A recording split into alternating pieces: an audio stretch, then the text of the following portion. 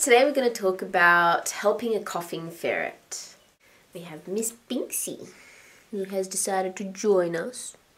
No. Which beautiful girl. The causes of coughing in ferrets can be due to the flu, hairballs, dust, something troubling the respiratory system like a growth or an obstruction, heart disease, pneumonia, allergic airway disease, bronchitis, and diseases of the esophagus. Oso esophagus.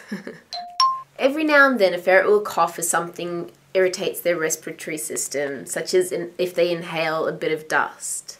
However, constant coughing is unnatural and needs to be checked out by a vet.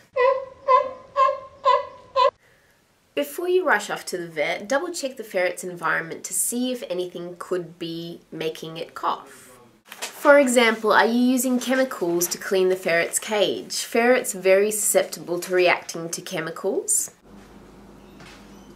So if you use things like spray and wipe in their cage, they may be affected by the chemicals because their noses are so close to uh, the ground and they tend to sniff in a lot of it. So always use natural cleaners when you're cleaning their cage. Is their play or sleep area particularly dusty? Perhaps it needs a clean. Is their bedding clean and appropriate?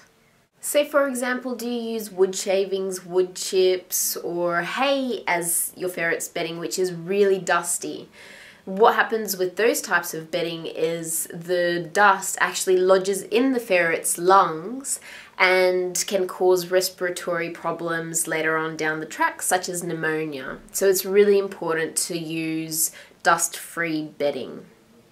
Another reason why a ferret might be coughing is if it's sick. So it's important to take your ferret to the vet for a checkup because it may require some antibiotics to help with its infection.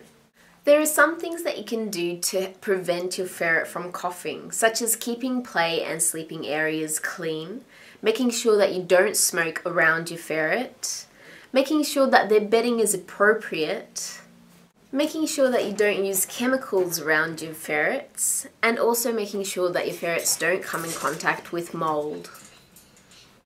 If your ferret is coughing on a regular basis, then your vet should definitely see it. For tomorrow's video, let's discuss what can cause smelly breath in ferrets. Let's discuss this on the Ferret World Facebook page and in the comment section below. Also don't forget to subscribe to this channel and to the Ferret World newsletter because there's a book launch at the end of the month and everyone gets a copy for free.